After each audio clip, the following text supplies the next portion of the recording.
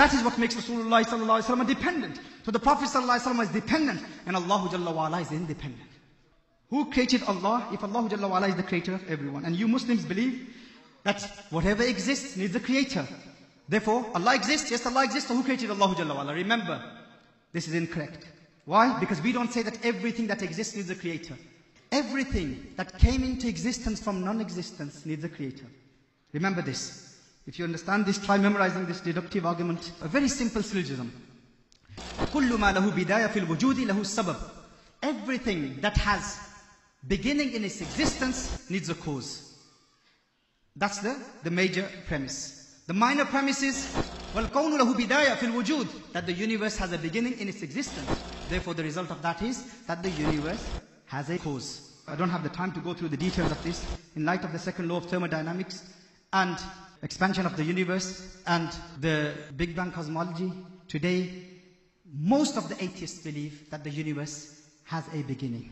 And if they believe that it doesn't have a beginning, then we will ask them to prove it. And they can't prove that.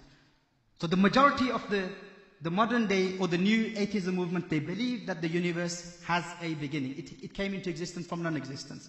We as Muslims, we believe that whatever came into existence needs a creator.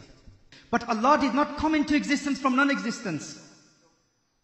Allah has always existed. Therefore, Allah Jalla wa'ala does not need a creator. Allah doesn't have a creator. So we do not say, لِكُلِّ مَوْجُودٍ خَالِقٍ We say, لِكُلِّ مَخْلُوقٍ خَالِقٍ Everything that came into existence needs a creator.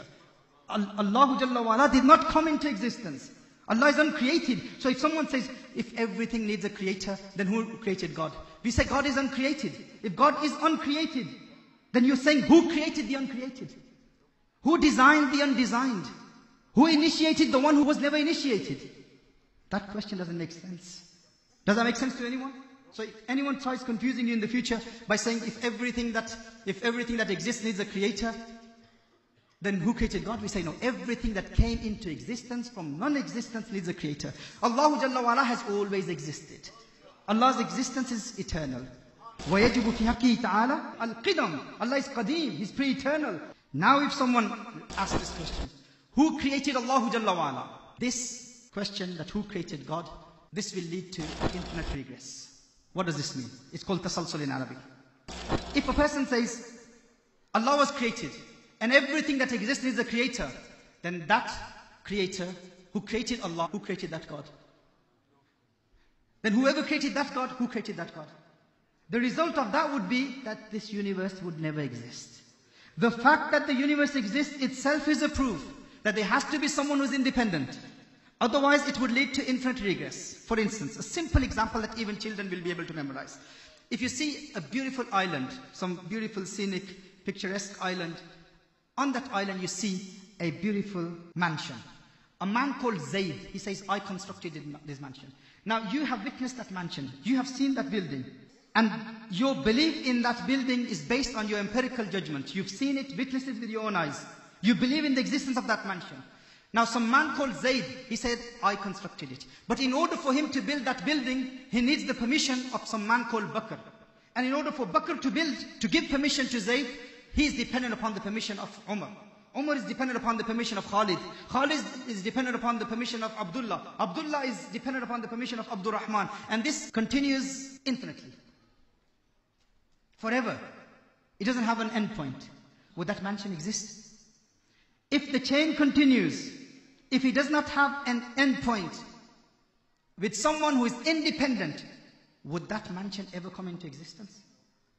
You have to have someone above, some higher being, who is independent, who does not need the permission of someone above him in order for that mansion to exist. How? The one who is the last person in the chain has to be independent. He gave permission to the one below him. He gave permission to the one below him. He gave permission to the one below him. And then that permission was granted to Bakr. Then Bakr granted that permission to Zayd. And then Zayd constructed that mansion.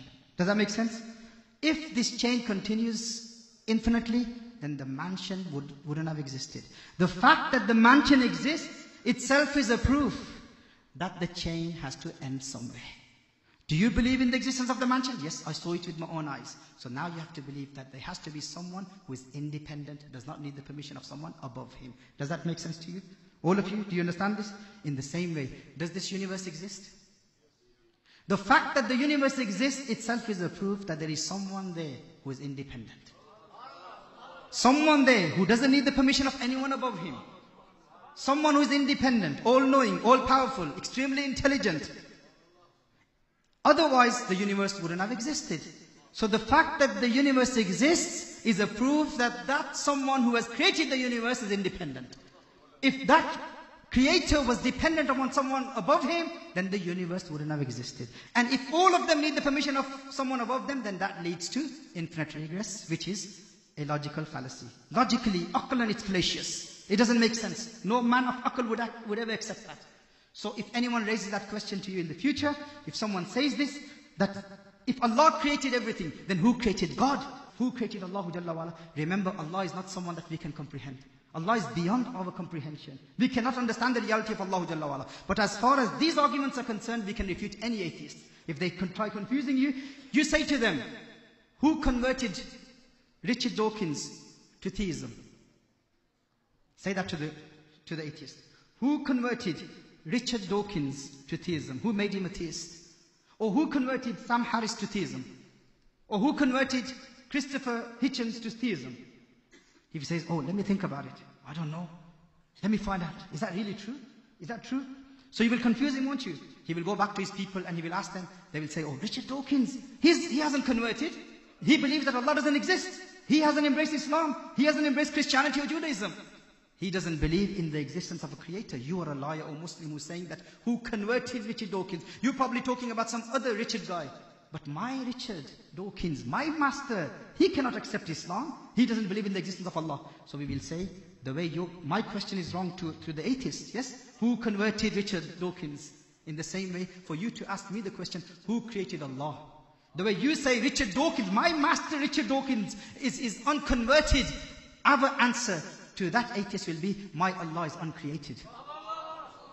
The way you say that, I'm probably talking about some other Richard guy in the same way, I will say to him, you are probably talking about some, some other God that they believe that God can come into existence from non-existence. My God, the Allah that I believe in is eternal, is uncreated question itself is logically fallacious. It does not make sense for people to say that who created God. Anytime people ask you this question, you say that leads to infinite regress. Allah Jalla wa'ala is independent. Allah Jalla wa'ala is not contingent. Allah Jalla wa'ala has always existed. And our akal, our intellect cannot comprehend the reality of Allah Jalla wa'ala. Human mind, we have to accept our limitations. And Rasulullah sallallahu alayhi is the one who saw Allah Jalla wa'ala. We believe in the existence of Allah through Rasulullah sallallahu alayhi wasallam. Through rational proofs, we believe in the existence of Allah Jalla wa'ala. But the complete tawheed, the reality of tawheed can only be understood by believing in Rasulullah sallallahu alayhi. So through the mediation of Rasulullah sallallahu alayhi we believe in Allah Jalla wa'ala's sifat, Allah Jalla wa'ala's attributes. A true Sufi will never become murtad. Why? Because he has that experiential knowledge of Allah Jalla wa'ala in dunya. In dunya, he experiences the gnosis of Allah Jalla wa'ala. And when he experiences the qurb of Allah Jalla wa'ala, he gets the glimpse of what he will see in the hereafter. Theirs is all based on analytical knowledge, discursive knowledge. The Sufi's knowledge about Allah Jalla wa'ala is experiential knowledge. He experiences the gnosis of Allah. Through his breath, he breathes with the name of Allah. We believe in the oneness of Allah and the finality of Rasulullah sallallahu alayhi wasallam's prophethood. May Allah Jalla bless us with his divine guidance so that we can act upon the ahkam of deen, act upon the ahkam of sharia, understand the creedal matters, aqaid of Ahlul Sunnah wal Jama'ah and learn the practical teachings of our ulama, how to defend al-Islam and how to defend the honor of Allah and how to defend the honor of Rasulullah sallallahu alayhi wasallam. Subscribe to our new YouTube channel for all the latest videos of Sheikh Saqib Iqbal. Link in the description. Thank you very much for watching our full video. If you want to see Islamic videos like this, please subscribe to our channel fan of Saqib.